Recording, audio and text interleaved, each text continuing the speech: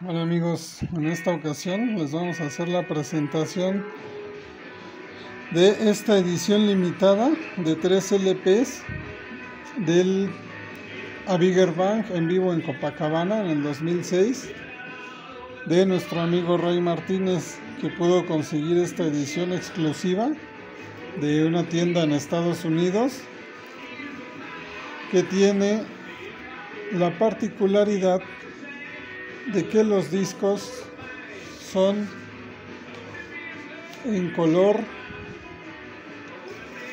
o transparente. Vemos el lado A y el lado B. Sabemos que salieron las ediciones de Carnaby y la edición de tres colores, amarillo, verde y azul. Pero en esta ocasión esta tienda Sound of Vinyl nos está dando esta versión en vinil transparente. Miren qué, qué, preciosos discos lanza esta tienda. Las fundas son las mismas que las demás versiones, pero los discos están realmente impresionantes. Miren aquí nuestro Charlie. Charlie querido. Y son de 180 gramos.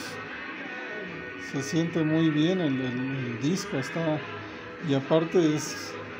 es o sea, es transparente. Está. Está súper hermoso este, esta versión.